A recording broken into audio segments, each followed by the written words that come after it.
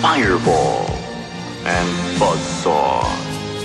Say their names with reverent pride. They punished crime and served the law. As patriots, they died. This is what I hate. Third act problems. Roll. Stop. Freeze in digital memory. And Activate traveling map. Tony, this better work, pal, or you'll be a digital memory. take it easy, Damon. Uh, we're loading Richard's image onto the database, and when he's mapped onto the stunt double, you'll never know the difference. All right, boys. Let's see you dance. Sensational. I love it.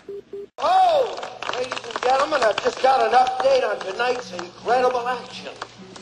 The runners have entered the final quad. And Captain Freedom has hung up his announcer's mic and come out of retirement. He's suited up and ready for the final conflict. Let's go now, live to the game zone.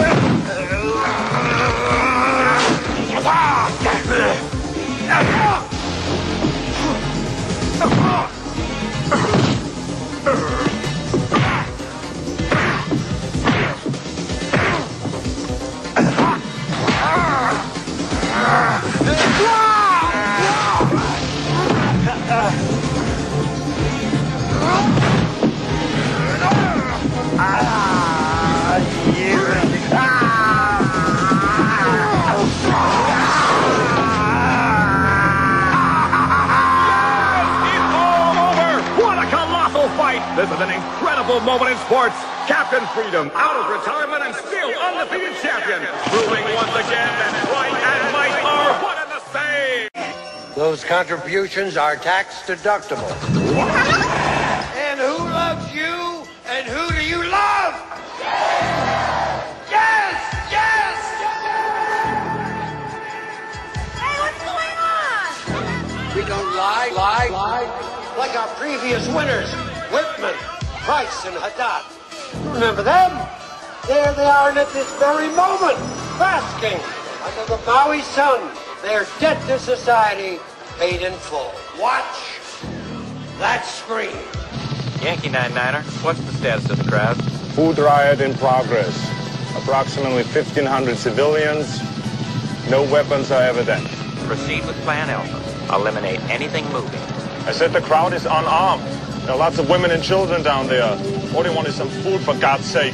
As you were, Richards. Proceed with Plan Alpha. All rioters must be eliminated.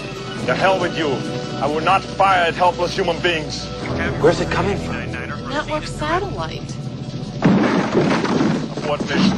Return to base. Don't touch that dial. Detain Richards and proceed as ordered. Ladies